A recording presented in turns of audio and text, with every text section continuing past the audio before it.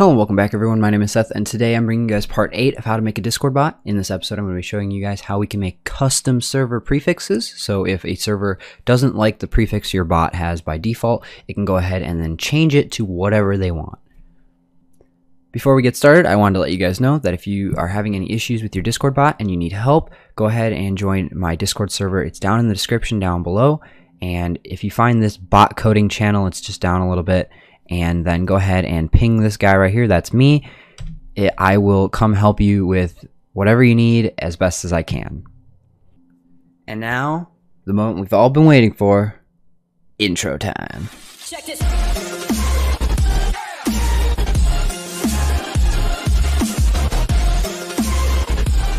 So for this video, we're going to need to make two different files, a.json and a.js. So let's go ahead and start by right clicking down here, new file, and name prefixes.json. In here, we're going to add our curly brackets, save the file, and just get rid of that for now. Next, let's click commands, new file, and call it prefix.js. Head on over to our ping command, copy the contents over to our new file, change the name to prefix, delete these two lines, and let's add a couple packages and files.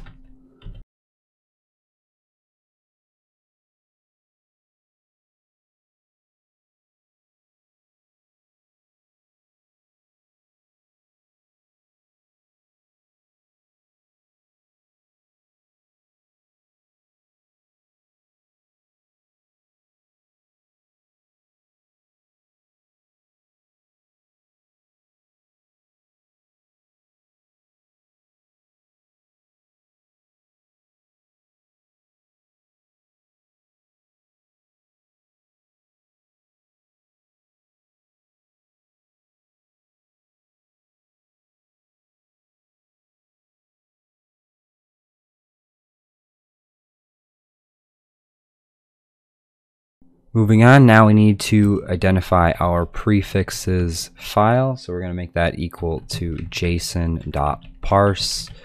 And we're going to grab the fs.read file sync. And we want prefixes.json.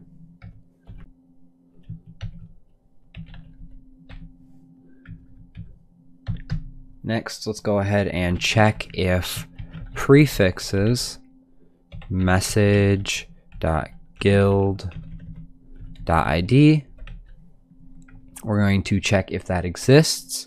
If it does not, we're going to go ahead and create a temporary um, variable in that file. And the reason it's going to be temporary is because we don't need to save it if we're just grabbing our default prefix. So we're just going to simply set it to bot config dot prefix. This eliminates the need for a um, if statement, another if statement. And then down here, we're just going to simply do let prefix equal prefixes message dot guild dot id dot prefix. So this is how we will grab our prefix from now on. So we're going to go ahead and actually copy this over to our index file. If we scroll down a little bit, you'll see where we set our prefix last time. We're simply going to remove that and paste in what we just copied. So now we can head on back to our prefix.js and finish this file up. So now we need to make it that users that don't run the server can't change the custom prefix if they have one. So if message.member.has permission, and we're going to check for the permission manage guild. If they do not have that permission, we're going to return message.reply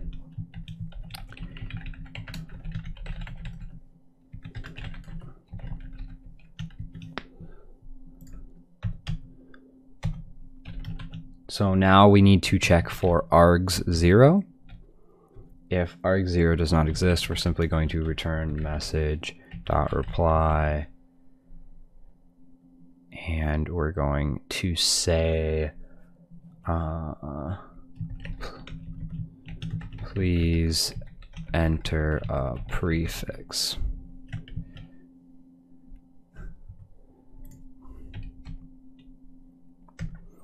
And if they did enter a prefix, then we're going to do prefixes message.guild.id and it's going to equal prefix args 0. And then now we can go ahead and save it. So I'm just going to go ahead and copy over from a different file. So type this in here. Make sure you have your prefixes.json file. And then we need to, last but not least, create an embed.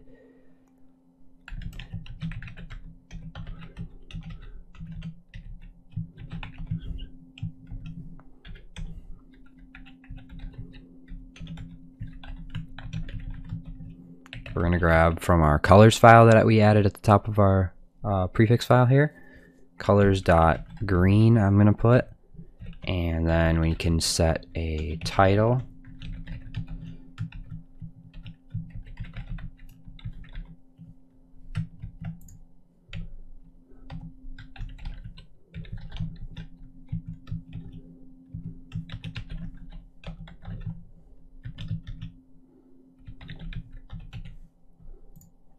and that's all there is to it. We just gotta go ahead and send so message.channel.send and we're gonna send um, embed. So now our custom prefixes should be all done. So let's go ahead and, and open our terminal and node dot to our run our bot. And then if we go ahead and open our Discord, we can try balance and you'll see our normal prefix works. And then if we want to change it, we use the prefix command and input our new prefix. What happened? We got an error. arg is not defined. Where did I put arg? Here we go. On this line, I forgot an S, so make sure you don't do that. Uh, let's go ahead and rerun our bot. Head on over to Discord. And now if we try it this time, prefix set to exclamation mark. So now if we try and do balance, it'll work. If we try and use our old prefix, it will not work. So I hope you guys enjoyed the video. If you did, smash that like button, subscribe for future bot tutorial videos, and outro time.